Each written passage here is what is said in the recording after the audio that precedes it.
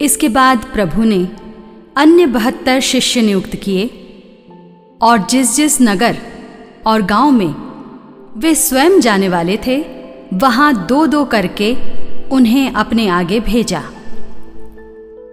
उन्होंने उनसे कहा, फ़सल तो बहुत है, परंतु मजदूर थोड़े हैं।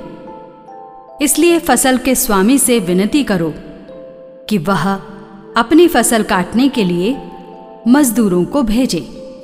जाओ, मैं तुम्हें भेड़ियों के बीच, भेड़ों की तरह भेजता हूँ।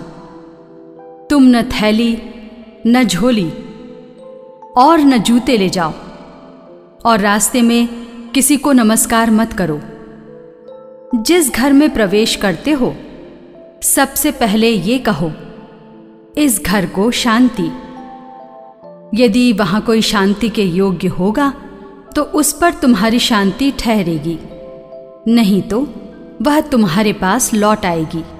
उसी घर में ठहरे रहो और उनके पास जो हो, वही खाओ पियो।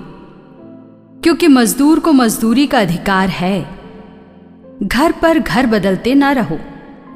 जिस नगर में प्रवेश करते हो और लोग तुम्हारा स्वागत करते हैं तो जो कुछ तुम्हें परोसा जाए, वही खा लो। वहाँ के रोगियों को चंगा करो और उनसे कहो, ईश्वर का राज्य तुम्हारे निकट आ गया है।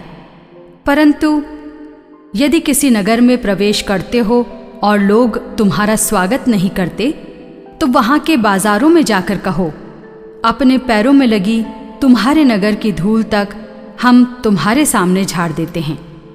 तब भी यह जान लो कि ईश्वर का राज्य आ गया है।